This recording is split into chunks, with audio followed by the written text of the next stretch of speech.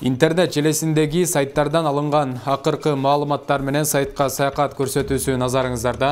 Бүгүн мен анын нурдөөлөт таштанбек айтып берем саламатсыздарбы? Көрсөтүүбүздү уюлдук телефонуңуз аркылуу да түз көрсөңүз болот. Ал үчүн youtubеда facebookта жана instagram баракчаларынан бизди издеп кошулуңуздар.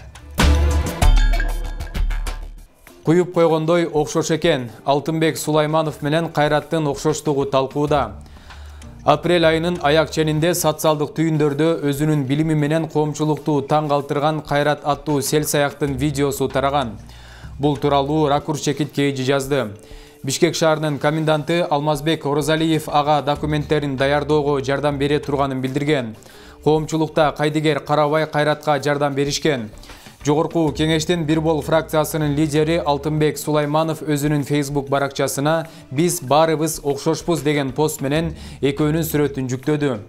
Эл өкүлүнүн бул билдирүүсүнө социалдык түйүндүн колдонуучулары чындыгында окшош экенсиздер эми окшош болуп жардам берип коюңуз деген өңдүү билдирүүлөрүн калтырышууда деп жазат аргумент чекит kg сайты. Белоруссияда бакиевдердин үй бүлөсүнөн коронавирус чыкты. Мурдагы президент курманбек бакиевдин бир тууганы жаныш бакиев белоруссияда коронавирус илдетине кабылганы тууралуу жыйырма төрт чекит kg маалымат агенттиги жазып чыкты. Маалыматка ылайык жаныш бакиевдин үй бүлөсү коронавирус илдетине кабылып биринчи майда минскдеги инфекциялык ооруканага жаткырылганы айтылат. Коронавируска кабылган бакиевдердин үй бүлөсү кечээ эле ооруканадан чыгарылган. Учурда алардын ден соолугу жакшы деп жазылат маалымат берген тарап буга чейин жаныш бакиев жана анын бир тууганында covid он тогуз илдети аныкталганы тууралуу маалымат тараган эле.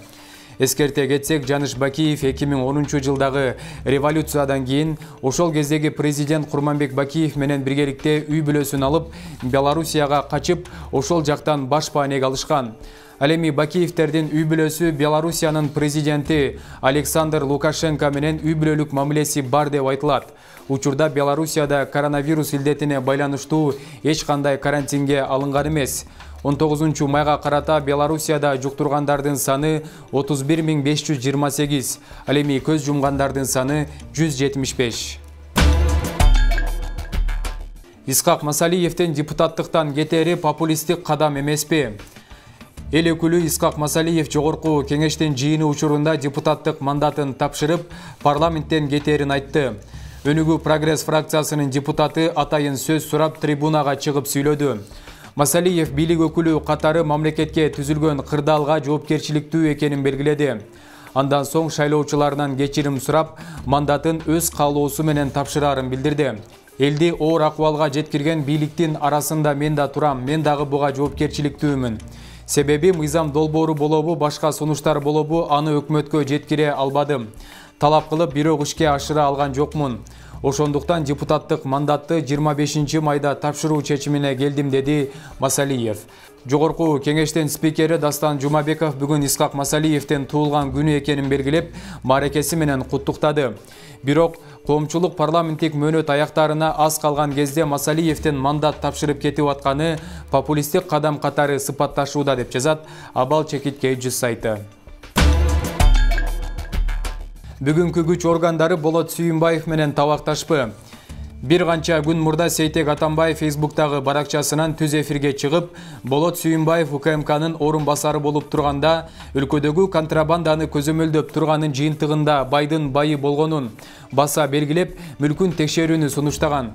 Сейтектин бамында ал алмазбек атамбаевдин ишенимине кирип алып баарын майкаңдаганы ачыкталуудабы ток этерине келсек эмне үчүн башкы прокуратура? Укмк болот сүйүнбаевди мыйзамсыз баюу боюнча кылмыш ишин козгобойт же бир убакта баары табакташ болуп алышканбы? Өлкөдөгү контрабанданы көзөмөлдөп турганы ачык айтылса да көрмөксөнгө салышканы кандай? Мына ушундан улам күч органдары ичтен ирип кеткенине ынанса болот. Кызык сейтектин айтканына тымпыйып калышты го демейде актанып чыгышчу эле деп жазат арыба чекит kg сайты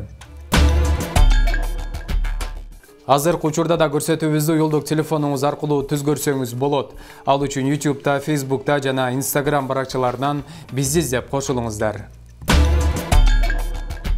Депутат ирина карамушкина башкы прокурор өткүрбек жамшитовго ишенбөөчүлүк көрсөтүп анын отставкасын талап кылды. Карамышкина башкы прокурор кайрылууларга тандалма мамиле жасап ага карата козголгон кылмыш ишти саясий буйрутма деп эсептеди ал эми өткүрбек жамшитов депутатка төмөндөгүдөй жооп берди ирина юрьевна сиз бүгүнкү күндө өзгөчө оор кылмыш иши боюнча шектүү адамсыз.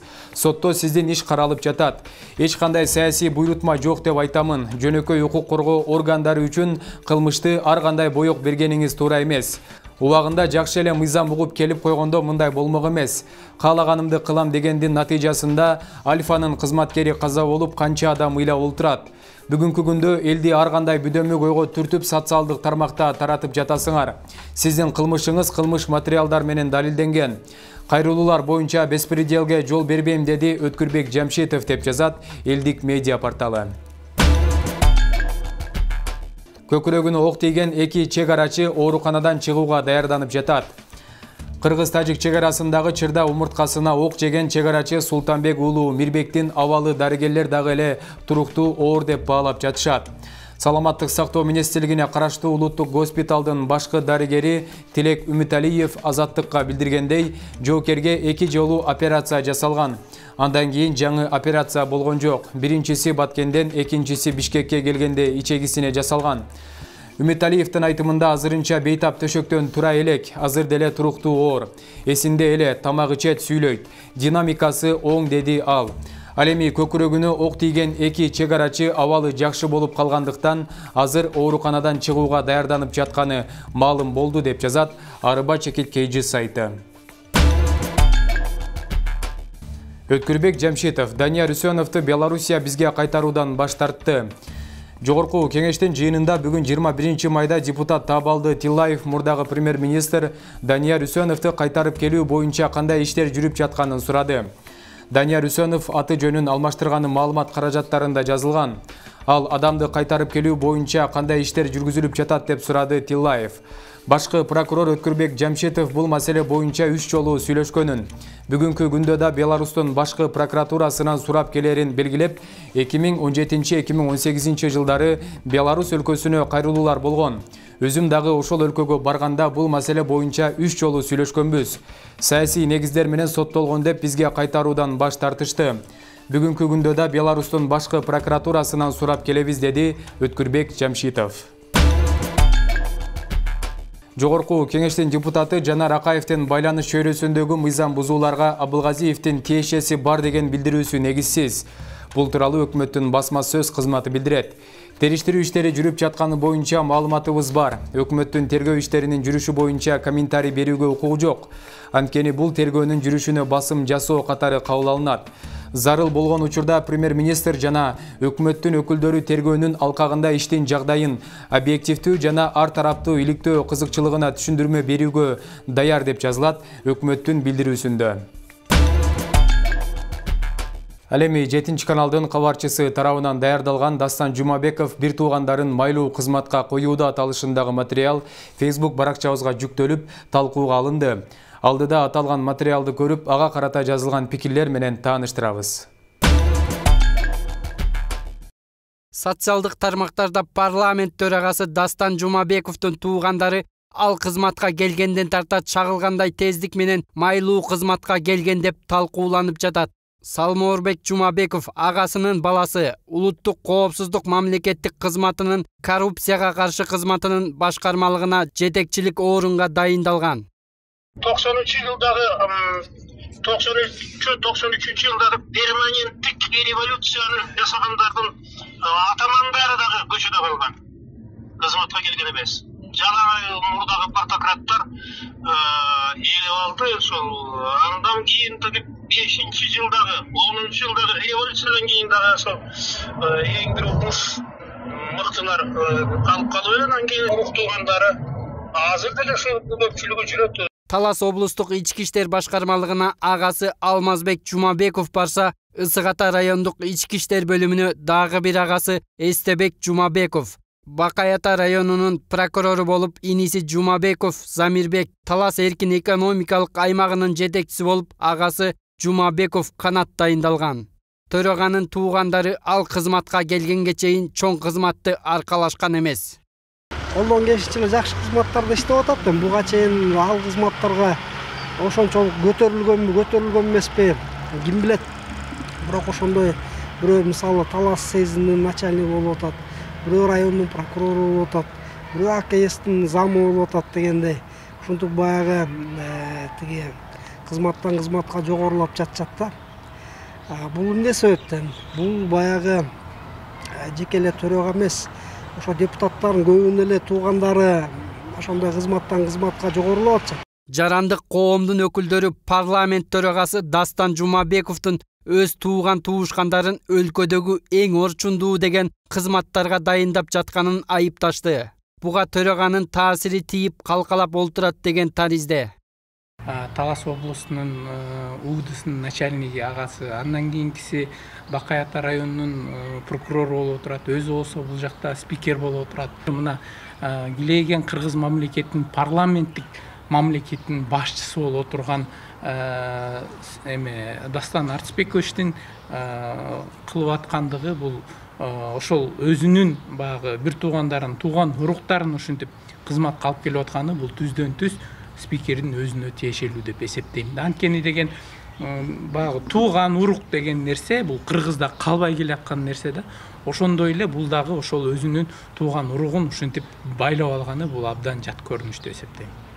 Парламент бир гана туугандар эмес өкмөт башчыга катасы толтура кат жазган жардамчысын да майлуу кызматка дайындап койгону жогорку кеңеште да айтылды. Ал эми өзү болсо бир канча ирет ката кетиргенин жүйө келтирип депутаттар зекип жатса да аны моюнга алгысы келбей жүрөөрүн эсине салышат мына буга чейинки жанагы катасы толтура кат жазып өкмөткө бүтүндөй парламентти парламентаризмди э, уят кылган кишилерди аппараттын башчысы кылып койдуңуз ошолорго азыр жооп берип коюңуз экинчи эл аралык комитеттен э, бөлүм башчысы комитеттин же юрист же чет тилди билген адам болуш керек да биздики бүт эл аралык келишимдер сіз комитетменен мақұлдашпай тұрып бір жігітті тап келдіңіз ана мұрынқы қылмыш іштері бар екен бүт ел шылдыңдап атат біз комитеттің он төрт мүшесі қол қойып бердік. Жоқ парламентте іштеген шетелдік төрт тілді білген законды білген бала бар екен. Ошоны өстүрөлү десек бізменен макулдашпай қойдыңыз. Ал бөлүм бөлім бизге кирбейт биз менен эсептешпейт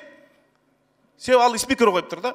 Кыргызстанда тууган туушкандардын маанилүү кызматка орунсуз дайындалышынан улам эки ирет төңкөрүш болгон бул жагдай азыркы чиновниктерге сабак болбой жатат.